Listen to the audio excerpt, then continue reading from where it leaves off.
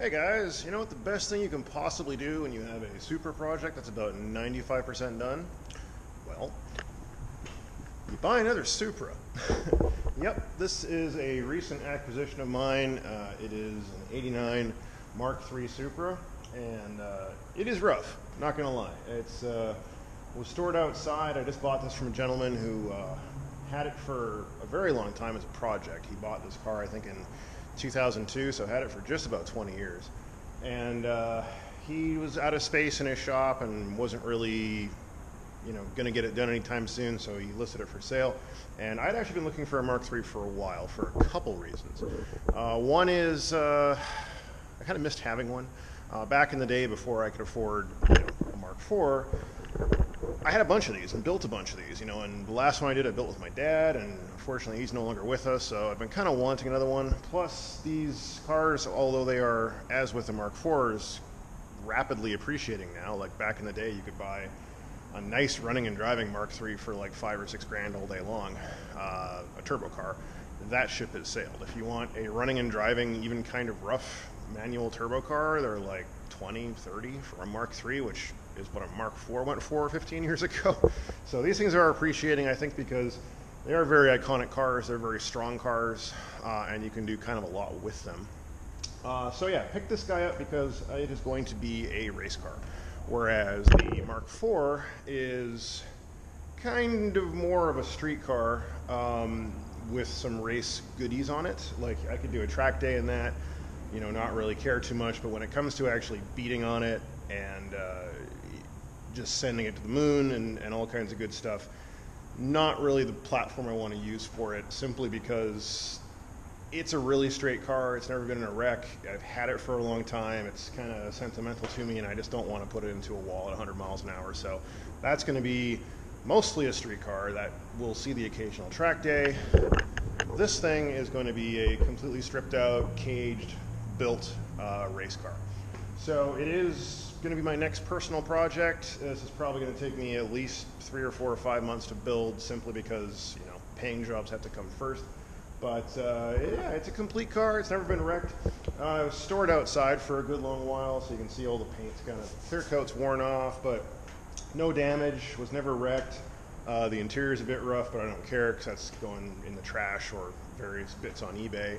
Uh, came with two engines and a gearbox, so complete engine and a not quite complete engine, but either way, I have two good heads, two good blocks. That's great because I've been thinking about what engine I want to dump in this, and I had a lot of uh, a lot of options kind of floating around in my head. I was thinking maybe a 1UZ FE, the Toyota V8 with some boost on it.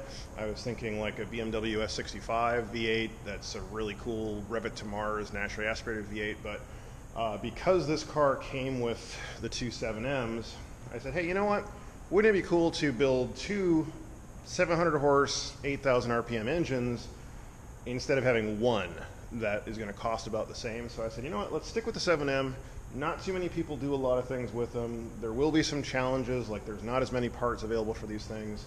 Um, and with the supply chain issues going on right now, it's going to be even more annoying to find the bits I need. But I like a challenge. And to me, it's kind of befitting to do what'll end up being almost a Turbo A car. Like uh, the Mark III was raced in, in Group A way back when, and uh, I have a lot of the FIA documentation for, you know, how they built the roll cage, how they set up the brakes and the engine. So I'm going to try to replicate a good bit of that 20 years in the future. So this should be a pretty fun project.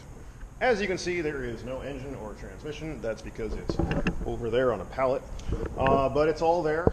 Uh, it's an MA71 chassis code, so you know, good bones to start with. Uh, even has a stock intercooler in there. Didn't even know that was still in there. But it is. Uh, no wiring harness either, but that's fine because I got to build one from scratch.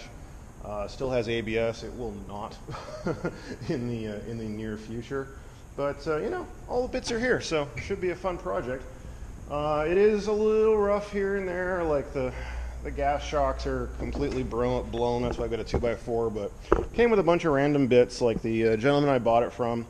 Uh, actually, another reason I bought this car is this was very close to my shop. It's like five miles up the road, whereas, you know, otherwise I would have to ship a car. Kind of pain in the butt. So if you're looking for a project car, Uh, it always is a good plan to not get married to any particular one. Like if you find one on eBay or on Bring a Trailer or something, it's like I need that car and I'm gonna keep bidding until I get it. You know what?